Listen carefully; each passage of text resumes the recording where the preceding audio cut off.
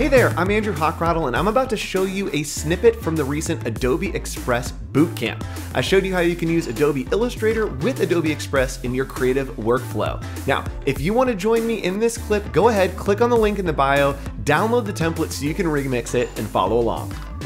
I want to go ahead and maybe animate this in. And so I want to animate this text. And what I can do is we can click on animation right here, and then we can look at text animation. Maybe we want it to slide in. Cool.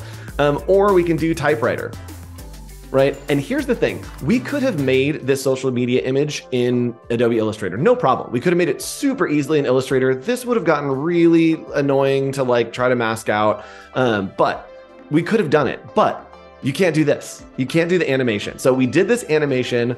That looks fantastic. I'm not mad about it.